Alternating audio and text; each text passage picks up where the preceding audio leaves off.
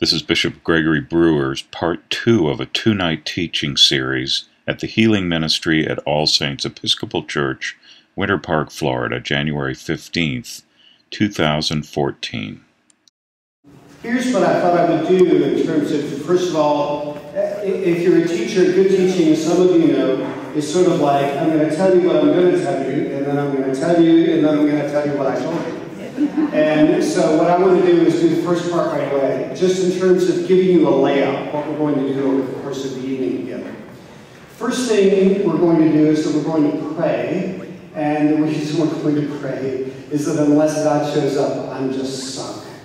And, uh, and really pray, and if you were here last night, how many of you were here last night? Oh, quite a few. You will remember we actually did this last night as well asking God to craft what it is that He would like to say in our midst. And believe me, that is in no way pro forma for me. Uh, there is absolutely no way under heaven, except God grant it, that no matter what kind of studying and prep I do, I will say something that will actually be meaningful to you.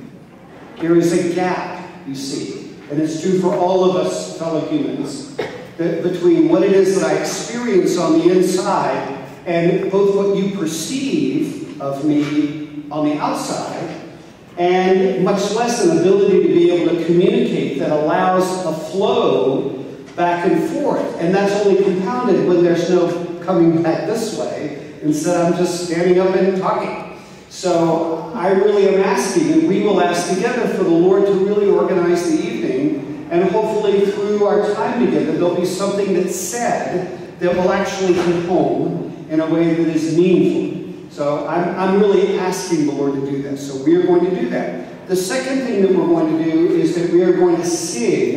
Uh, you gave me the chorus, thank you. Lord, prepare me to be a sanctuary. I think most people know that worship chorus. And we're going to sing it a couple of times. I'm going to go sit down on the piano, and then I'm going to come back and then what I will do is tell a couple of brief stories about how I got into all this stuff. Um, it's not in most seminary curriculums, I assure you. But that's only because seminary education is at a deficit when it comes to this ministry, not because it's unimportant. So I want to say a couple of things about how I wound up getting in, because quite honestly, most people who are involved in the healing ministry are in the healing ministry because they have needed and continually need to be healed. Um, and so I'm going to talk a little bit about that. Then I will do a brief recap of some of the key points that I made last night and tease them out a little bit more because a lot was said last night. There were several sort of key points. So I want to tease those out a little bit. And then the last thing that I want to do is to hear from you. And what I mean by that is this. It's not going to be Q&A as in you ask a question and I answer it and then you ask a question. What I'm instead going to say is, okay, given the things that I've said thus far this evening, are there things that you would like to know more about or have a particular question? And, and what I'm going to do actually is maybe get about five across the room. Because usually those questions can actually form uh, a way of responding that might hit what it is that you're asking.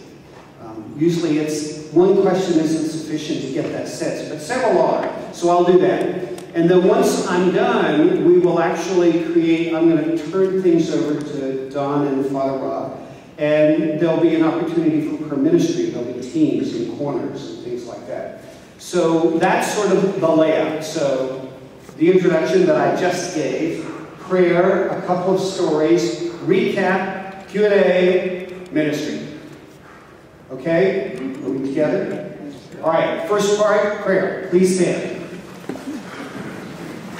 Now remember the prayer. This is a covenant that we're asking God together to, as we gather together in His name, that He would be the one to lead the evening, and that through your questions, the things that I have to say, or through something that just actually may even pop in your head that has nothing to do with anything that I'm talking about, God might say something that would be meaningful. Because I count on that. So, the Lord be with you. And also with you. Let us pray. Gracious Lord, we gather together this evening in the name of your Son, Jesus Christ. We open our hearts and our minds to his presence. Thank you for this opportunity that brings us together for the people who work to make it possible, for the food and for the prayers, the organization. We are already, Lord, the beneficiaries of a lot of generosity. And we are extremely grateful to you and to them, Lord. We pray that that would only continue, that we would turn the focus of our hearts to you, and you, out of your great generosity, would open us up to that which you desire to say. For we confess to you, Lord, that we cannot grasp it unless you reveal it and enable us to understand what it is that you are revealing. So, O oh Lord, I pray that you would take my words, give me words. Allow us, over the course of this evening, to hear from you. Communicate to us, O Lord, that which you desire. And so we say, Speak, Lord. Your servants are listening. We yield to you. And we ask to be led. For it is in the name of Jesus Christ, our Lord, that we pray. Do you all know the little, don't sit down.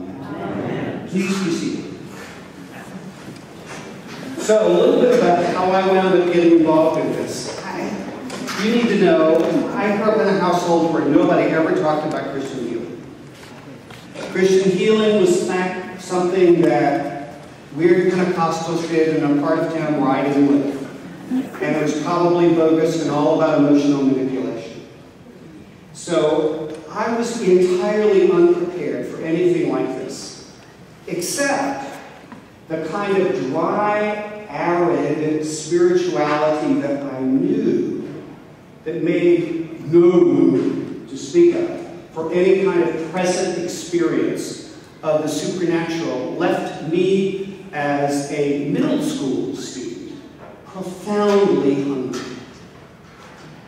I didn't know what to do with it, but I just had this sense. Where did it come from? I have no idea. That there was more to life than that which you could see, touch, taste, and smell.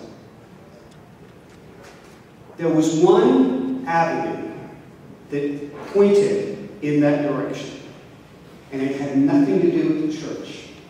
It was actually horror movies. They talked a lot about supernatural and believed it. And I was absolutely captivated by the things that I watched. And so what that led me into was a whole series of experiences, sometimes quite spiritually powerful, uh, in the occult. I tried all kinds of things. And the more I could get deep, the more deeply I got into it, the more I knew that I was actually touching on something that. Not only was it real, it was actually quite exciting and a little bit scary, which actually made it all the more exciting. I mean, a lot of people who wind up getting involved in occult behavior are actually quite adventurous people. And I like risks. Ask my wife. I'll take a risk in a heartbeat. And this was one of those situations, so I, I jumped in. Again, there was nothing else in my church experience or in my home life that would in any way somehow invite me into this except for its dryness.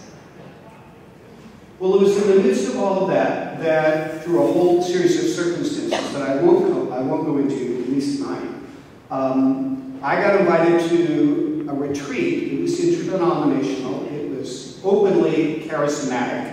It took place at an Episcopal retreat center in Richmond, Virginia, called Roslyn, which is where I grew up, was in Richmond. And over the course of that weekend, I came as a full and complete skeptic. But something happened. I saw a woman be prayed for, and she got up out of a wheelchair, right in front of me. And you see, because of my experience and involvement in the occult, while I was startled, I, that was all. I wasn't shocked. In fact, at one level it made perfect sense because I knew enough about the, the wicked and the divine that you could in fact actually curse someone and it could result in physical illness. And if the Christian understanding of God is that Jesus triumphed over the principalities and powers. In fact, a lot of the stories in the Gospels where Jesus brings healing has everything to do with casting out of an evil spirit and a person feeling better or being made whole. I thought, sure, if you could curse and someone would get sick, and if Jesus is who he says he is, then he can bring healing and break the curse. I mean, to me, it was it was profoundly logical, actually. And out of that weekend, through, again, a whole series of events, I wound up personally saying yes to Christ. And was dramatically changed. I went back to my university campus and literally had to change crowds. Um, the girl with whom I was dating and I broke up. Um, it was a breach. I felt kind of in the breach because, quite honestly, the Christians I met, I didn't really like at all. Um, but I knew that I couldn't continue what I had been doing, and that Christ had, in fact, been real in my life. It wasn't too long after that that I really began to be intrigued by prayer ministry and healing. I'd already seen it happen. And I was, so I showed up at a healing service one time, and I went forward for prayer. And I guess I had some vestiges of the old occult stuff in me, because when this dear woman prayed for me, laid her hands on my head, I felt an entity just walk right out of my body. And, I mean, it wasn't sort of visibly dramatic in every, but I, I felt this thing leave. And as a result, there was in fact a marked difference in my life. And I thought, wow, I think I want to. And I started reading. Now, at that point, we're talking 35 years ago. Who did you read? You had Agnes Sanford's, who some of you might know. Her books are still has um, currency to them. Uh, an active Episcopalian and pioneer in the healing ministry for a lot of people.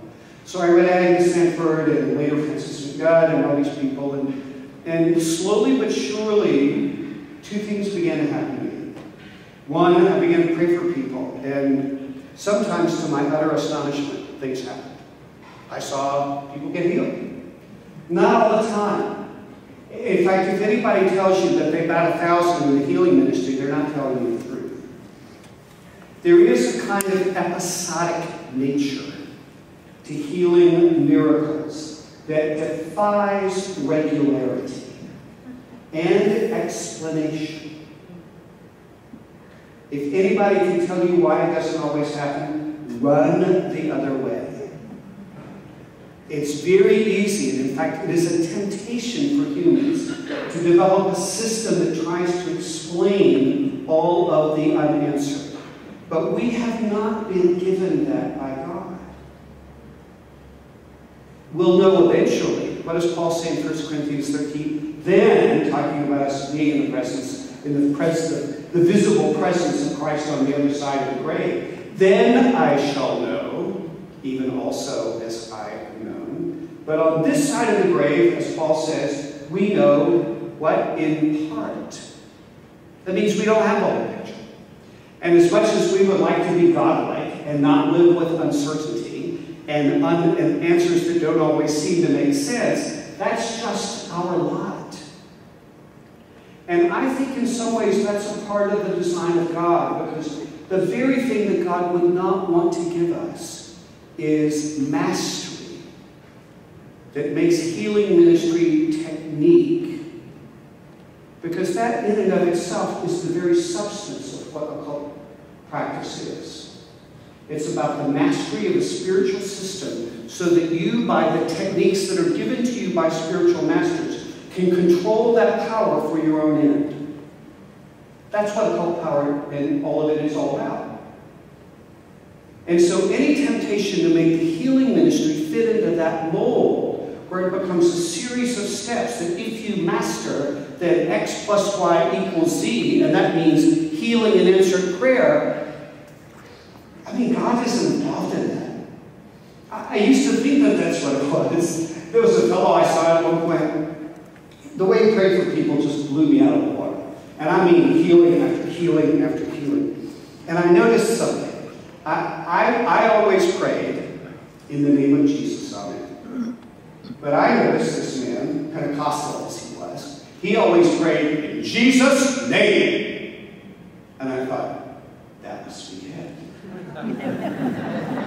I just need to change the emphasis on the right on the right word, and that will unlock prayer ministry for me. And of course, I tried it, and God laughed, and finally I did too. All of us have this profoundly human desire to master power. It's one of the great attributes that is both liable for demagoguery and idolatry, as well as for great good, to try to master something. It's a part of who we are. But if we apply that discipline to the spiritual life, we're going to be just in the very wrong place. Because to grow in the spiritual life is in fact counterintuitive to that desire. Instead, it's all about being willing to be led, not leading. It's about yielding, not mastery. It's not about technique, it's actually about an admission of ignorance. And in fact, my sense is the more I am willing to come into that place of weakness, the more open I in fact can become to God choosing to do something through me that would be above and beyond, as the scripture says, anything I could ever ask or imagine. But if I'm somehow trying to make it happen through a set of spiritual techniques, God is gracious that He occasionally actually honors that, but it's not His long term plan. And in the end, what we end up with is an idolatry of the technique rather than a living relationship with a God who communicates with us and through that tells us what to do and how to pray. In other words, you can't divorce healing ministry from relationship. Healing ministry without relationship is a cult technique. But it's not just relationship. It's relationship that allows us to be a vessel. In fact, Rob and I were having this conversation over, over dinner. I, I said to him, for me, the, the definition of Christian maturity is when a transition takes place inside of a believer where he or she no longer pursues God primarily for his or her own well-being, but instead pursues God primarily that he or she might be a vessel to serve others. And the more I'm willing to enter into that, Lord, prepare me to be a sanctuary, a vessel that God uses, that's when things begin to open up.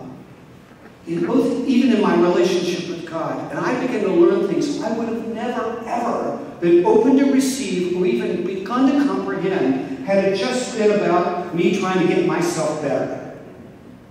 Sure, that's kind of where many of us start, because we're broken people. We live with tremendous hurts and anxieties. Life is not fun as much as we want to always communicate that to other people. And there are places in our hearts that sometimes we show others and sometimes we don't. And, and it's not all, all that easy.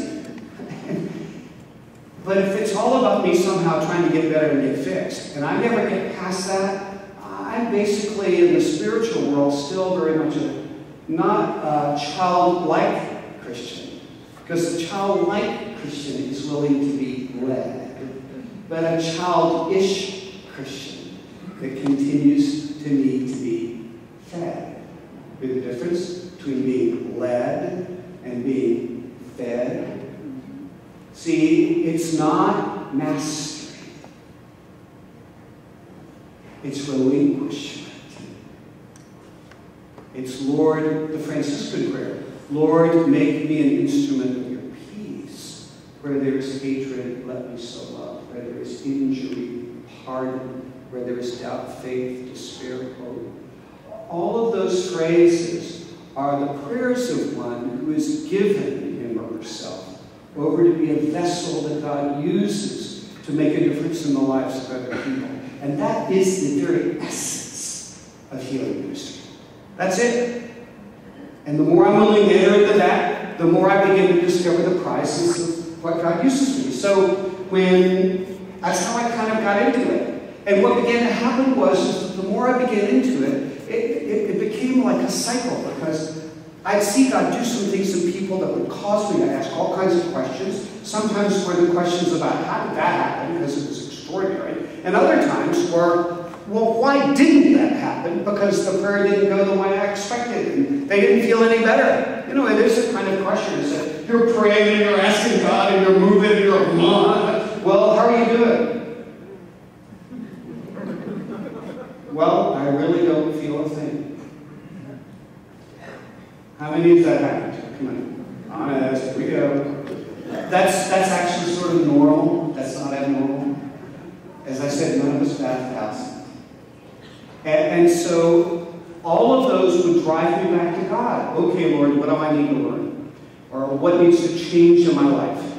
Or how can I allow that flow to be easier than it was? And therefore, God begins to open up new places in me where I need to be healed, where I need to be changed, new disciplines that I need to put in my life. Because we're all, you see, in Jesus are being changed. We are being changed. It's not just a question of, I once was lost, but now I'm found, although that can happen. But the real sense of what it means to be a Christian is that it is an ongoing, I am being changed into his likeness. I never get out of this mode of, except you become as a little child, will never enter the kingdom of heaven. I always need to be take the hand of my Heavenly Father who I'm learning more and more to trust. It used to be that way. I didn't trust God at all. I didn't trust anybody except for me. To allow myself to be led into the traffic of human existence and trust that He will see me through. Even though sometimes that happens at a great price. That was one of the points that I made last night that, some, that to enter into this ministry, in fact, can require deep suffering. Suffering because of the pain that you feel from others, suffering from the anguish that you enter into when things don't work out the way you want. I mean, it was no one less than Teresa of Avila who said famously, Lord, if this is how you treat your friends, it's no wonder that you have so few of them. and it can be like that at times. That doesn't mean that God doesn't love you. I mean, there's that word, it wasn't in the Bible passage in Hebrews about the Lord chastening those whom he loves, but it's in there just like the rest of it. And so that, that in fact happens. And I still know within my deep heart of hearts that there are parts of me that are broken. I, I am not all together. I still am very much a man who is being. And I have the sense that that will probably be true until I am finally shedding the physical body. I am changed into his likeness. even when I get nervous when people are real definitive about a lot of things, I have to tell you, I'm 62 years of age. The more I know, the more I realize I don't know. And while there are things where the scripture is profoundly clear, and to deviate from them is in fact to depart from Jesus, there are other things that are not clear. And I'm willing for it to be okay, for it to be not clear. Again, it is the human temptation to create an airtight system. And so you, you have to be willing to live with the nebulous.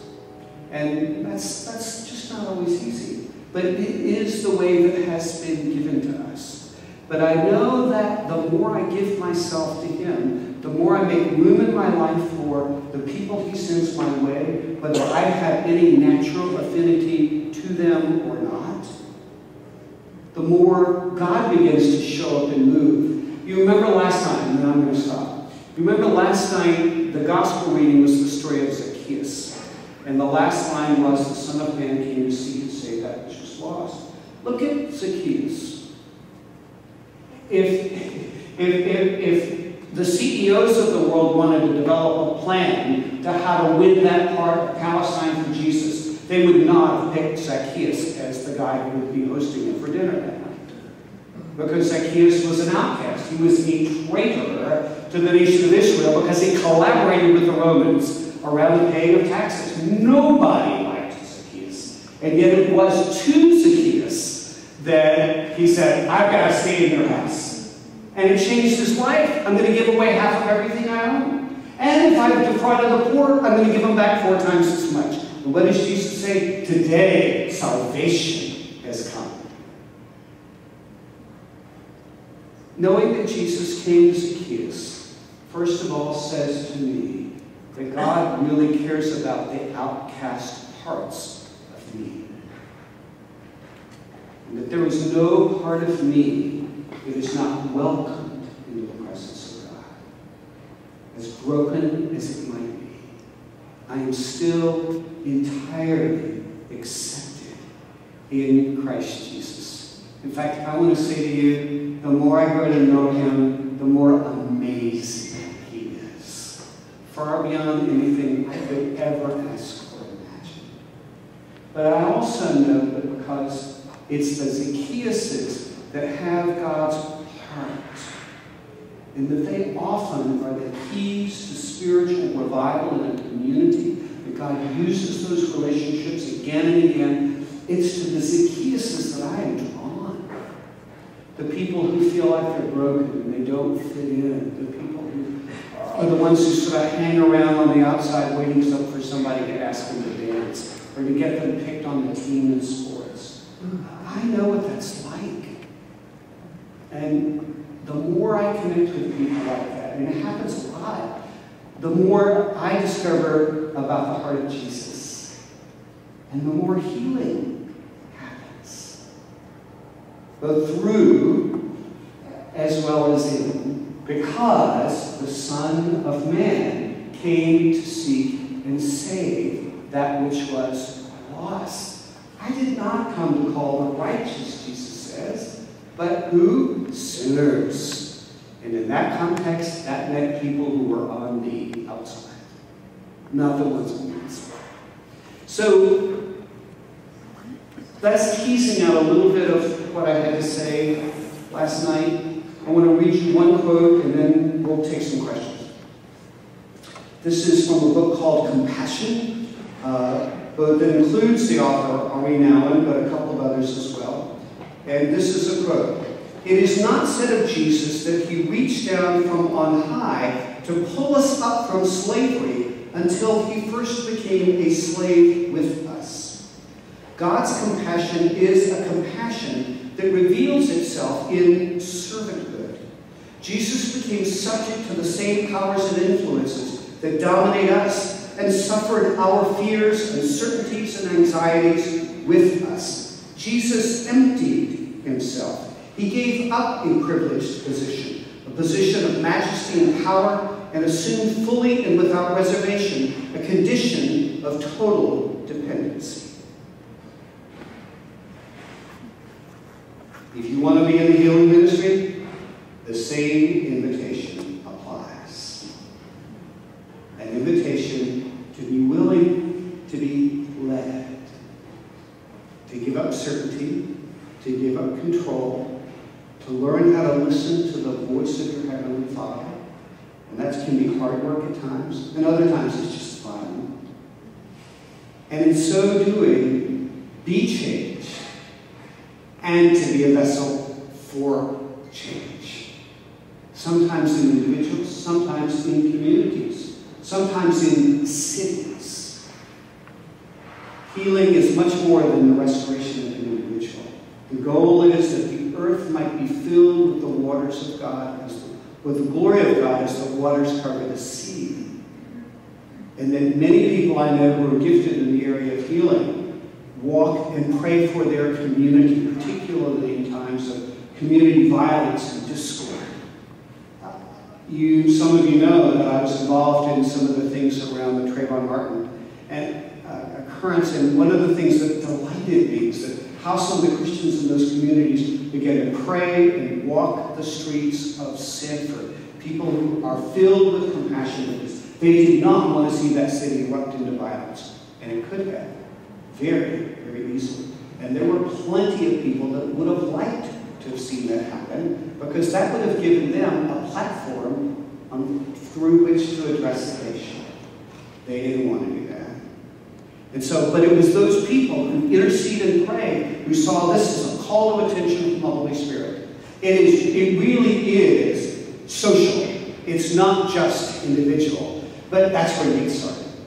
And different gifts of healing, as Paul says in 1 Corinthians, gifts plural, often branch out into those kinds of directions. So that some people have some real gifts in the area of deliverance. Others have real specialties in working with the emotionally wounded. Others are gifted in the area of physical restoration. Others pray and intercede for the healing necessary in a broken community. Others go before God for the healing of the nations. All of that is the healing ministry of Jesus. Because his goal is the earth shall be filled with the glory of God. Not just you and I getting a little better. So it's a broad, broad invitation to take your place in this gift that God has given his church, that the world might be a better kind of place and that we might be his vessels and have the joy of getting in on what God is doing in the earth. That's how I think about it. God, how did you let me into this? I love it. So even though the price is high, I'd rather do this than anything else. Questions? Yes. Bishop, Yes. could you please give me just a minute? Well, wait, wait, I want to make sure I get a question first. Yes, but what, what we want to do, Bishop, is, is have this question on the mic. so Oh, I, I know. I'm prepared. Go ahead. Your question? Uh, Yeah, I have a question. Uh, I'm not going to say the righteous, but that was, was a loss. We always hear everyone is lost, everyone is a sinner. Would you tell me if I'm interpreting this correctly? I did not come to say the righteous, but that which is lost. I think he was talking about Israel. He came to save the lost people, the Jews. Okay, eh, is that your question? Because what I want to do is get a list, remember? She's asking me to spend a little bit more time on the verse, I did not come to call the righteous but sinners, and trying to identify who those people are especially. And are they the Jews? Is that what you said? I wondered if he came to save the Jewish people. And, and then I have this thing about, I did not come to save the righteous. Well, we are told that no one is righteous. Correct, that's We all sinners, so I have a, a problem with that. Okay, very good. Another question. Really? This will be quick, Yvonne. The difference between pity and compassion. The difference between pity and compassion, okay? Kind of on that same theme, Zacchaeus was lost. Yes? He was being called into the church where the righteous didn't want him. What then for Zacchaeus? Okay, here's a question. Her question is uh, similar to her question. Okay, Zacchaeus was lost, and then he becomes righteous. Then what then, given the fact that he was an outcast? Is that a fair assessment? Okay. I want to make sure I'm being accurate. Okay, let's deal with these three and then see where we go. In some ways, the Zacchaeus story is a perfect analogy to Jesus' statement about not coming to call the righteous sinners. What he's trying to do in some ways is poke at Pharisaic leaders who think that they are in fact righteous before God because they adhere to a certain law system. I would like to finish before you give me a follow-up, if I may.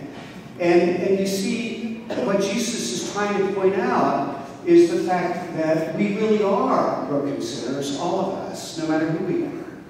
That's why when John the Baptist saw Jesus approaching him, he said, Behold the Lamb of God who takes away the sins of the world. That's pretty comprehensive, isn't it? In other words, that's all of us. And that yes, while Israel played a very clear role in revealing the righteous law of God and the covenants that God made with Israel, in the time of Jesus, something new is broken forth that really invites all people everywhere, no matter who they are, to come and to see Him. So, in that sense, not, call, not calling the righteous, well, at one level, that's all of us, except for those people who are of the mistaken notion that they really are okay inside of God. And instead, sinners, and that's who we are, yeah, all of us, because, which is why every single Sunday, let us confess our sins against God and our neighbor. Now, the question about pity and compassion, I tell you, let me do yours and then I'll do yours about pity and compassion. The, Zacchaeus, we don't know what happened to Zacchaeus, actually. Was he restored to the community of Israel after being an outcast? Who knows? They, the community might have taken the counsel of their traveling rabbi, Jesus, and restored him, as it were, into the fellowship of the local synagogue. Because they would have considered him an outcast because of his collaboration with the Romans. You don't do that with Gentiles under the standard Jewish law. But for us as the readers of the story, well, that's a much wider audience. You see, the point of the story is to us is there are going to be a lot of people, and maybe we were some, who in coming to Christ let go of really heinous behavior. And it is the challenge of the community, the Christian community, to accept and receive people, even though they have extraordinarily checkered pasts, and to give them the freedom to discover the newness of what it means to be living in Jesus. Because we live in communities with very, very long memories, right? Especially if people have lived in a community for generations and they tell stories about their grandparents and things. It's, it's very hard in a community like that to, to, in essence, take a new step forward without being reminded, even if it's never to your face, about what you used to do and where you used to go and who you used to sort of do bad things with. And so in many ways, the message of Zacchaeus to us as a church is to really, number one, believe that people can be transformed by the power of Jesus. And when it begins to happen, to really call it forward and to accept willingly into our fellowship those people who have experienced that kind of change. It Doesn't mean we're not being smart, but it does mean we're willing to give people the gracious invitation to come and be a part of us to see how we might serve God together, even though we may not have approved of their past at all. Pity and compassion. Pity means I feel sorry. I, I actually really hurt for what it is that you're going through. I'm just really sorry. That's pity. Compassion is I can't get it out of my brain what it is that you're going through. And I want to find a way to do something about it. You see, the scripture says that Jesus was, and this is intentional, Jesus was moved with compassion and healed their sick. In other words, compassion is love in action. Compassion does. It, it's more than just feeling. It actually engages. It does whatever it can to try to make a difference. It- in other words, it is that which God builds into us that motivates us to do something about what's going on, rather than merely sitting back and feeling badly. If all I do is sit around and feel badly, that's better than being cynical. But it doesn't necessarily move you into action. Compassion just doesn't let you go. You've got to do something. And that's what we see in Jesus. He was moved with compassion, and therefore he healed their sick. A couple of others? Yes. You mentioned trying to feel someone, or trying to channel uh, energy and feel someone and not be effective. And I'm wondering, And not be what I'm not sorry. being effective, not getting the result you were praying. Right. Praying for people, and sometimes it doesn't work out the way you asked. So my question is, do you feel that it's, you know, your time spent was wasted and nothing happened? Or do you feel that something's happened on a level that you just are not aware of? Because you know it's- How do you read, if I could summarize it, please correct me if I'm wrong. How do you read a situation when there seems to be no visible? Is that fair? Okay. Um, when you pray for somebody, you know, I, well, first of all, I believe that if you pray in the name of Christ, then something really does transpire no matter whether a person is conscious of it or not. That doesn't mean the symptoms have changed. Sometimes they don't. But that doesn't mean something that has hasn't been affected in here. So do I feel like it is time wasted? In fact, absolutely not.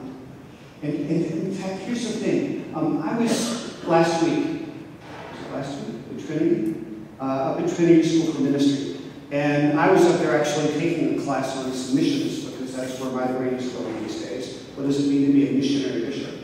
And but there was a healing service on Wednesday night, and a very wonderfully gifted woman by the name of Sharon Lewis, who's an ordained Episcopal clergy person from the Tampa area, was up there, and she and I conducted a healing service together.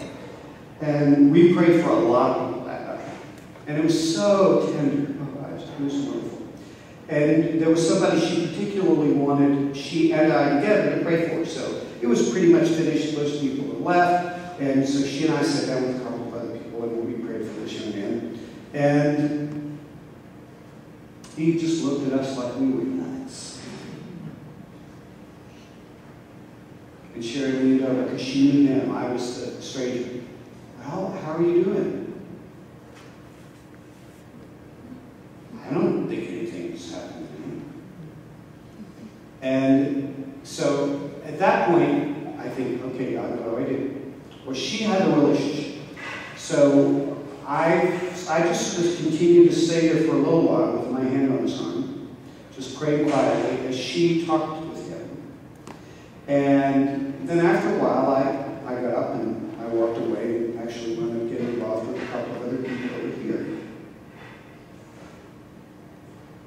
He had two reactions in the next 24 hours. The first reaction was he got really angry. I got prayed for nothing happened. Where's God in that? Fair question. And then within a matter of, well, that was like before he went to bed that night. And then the next morning, he thought, I need to talk to somebody.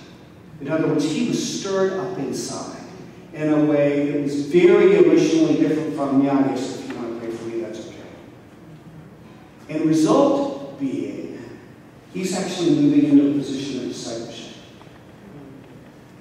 Now, if all I had known was his reaction in front of me, I heard the second hand the next day, then I would said, well, God, you know, I gave it my best shot. Uh, he's your son, and you love him more than I do. Uh, may your will be accomplished in his life. And that's it. And sometimes that's all you've got. In fact, sometimes it's worse. Sometimes you agonize, you fight, you pray, you fast, and they die anyway. And you are left feeling absolutely bereft. And you have to give it to God and keep going. And that is not easy. But it is that to which we are called. And the glory of it, if the person is a Christian, is that you know that when they finally pass over and that cancerous dead body is finally no longer a part of their existence, they're completely and totally healed in a way that none of us know in this life. You know, they're dancing and singing at that point. But it's still hard and really beautiful. And as again, I, I, I can't offer explanations for all of that. But I do know that the scripture's really clear that to give in the name of Jesus always does something in, the realm of the kingdom. Even though I don't always see what that is. So, but here, and here's the point. If you're trying to think, well, do I pray or not around, well, is it going to be successful or not? That becomes a personal masturbation. You can't hedge your bets. The call is to go for broke. Give, and it shall be given to you, pressed down, shaken together, and running over. Uh, and if it's all about you wanting to look good and be impressive and tell great stories about how people were healed, so that you'll think better of me, then you're in the wrong ballpark. That's not what this is about. It's not at all about trying to be impressive. And that's a weapon that the enemy among people who like to brag about how God has answered their prayers. I mean, I can tell you some stories about people getting up out of wheelchairs. But, and they really, and that really does happen. I want to say that really does happen. I've seen it, I've prayed for people, it's occurred. But if that's all you know, then you don't have the whole story. So I want to give you the whole story. With the wonder of the miracles. One time, and then I'm done. I, I was invited to be a part of a youth retreat. And it was a lock-in. Have you- has- Who's been on a lock-in? That's when you stay up with teenagers all night long. Uh, and, and we were, I was in a group, we split up, and so I was with a group of high school guys. And there was a fellow over in the corner who was like, you could tell. All of his bad body language was, I just can't stand this. And so I decided, engage. So I don't even remember the man's name. So, but I said something to him, all of a sudden, all came, I'm not even sure this is even true at all. Uh, blah, blah, blah, blah. I said, and so, I don't even know how this happens to me. I said, I'll tell you what. If we pray for you, I can promise you that you will know something of the presence of God that you didn't know before.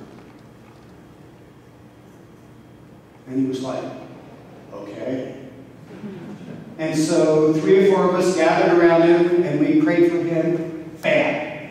God just touched him deeply. And he was absolutely, I mean, his eyes were because he knew something had happened. It wasn't anything that had been manufactured.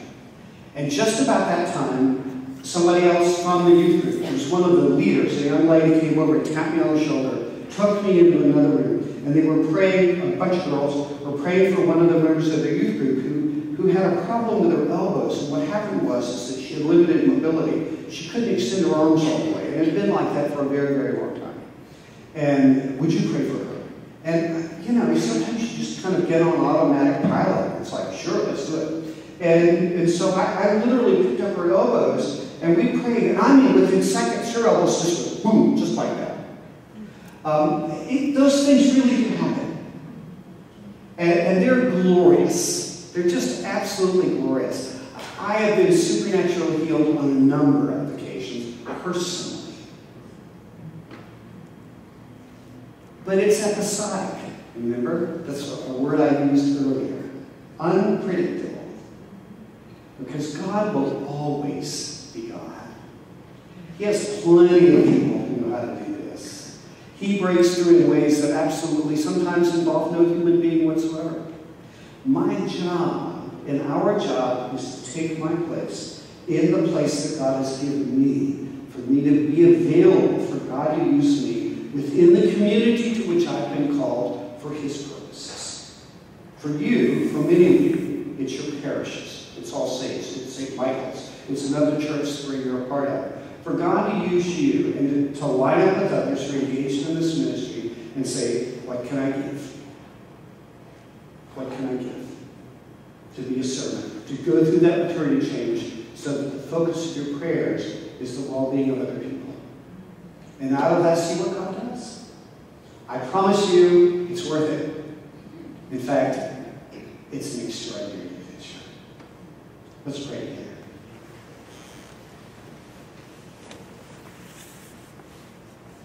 Gracious Lord, I thank you that it's not just us who are here. You, you are here. You are here. And I'm so grateful that you would deign to come into our midst, broken sinners that we are, worthy of your judgment and not, because you speak peace and forgiveness and mercy. Because you are the one who came to seek and save that which is lost. And so, in response to your presence, Lord, we lay before you us as we have prayed. And here we offer and present unto thee, O Lord, ourselves, our souls and bodies, to be a holy and living sacrifice unto. Take us as we are, Lord, imperfect, broken, often rebellious, but at least here, willing, and use us as you see it. May we be that sanctuary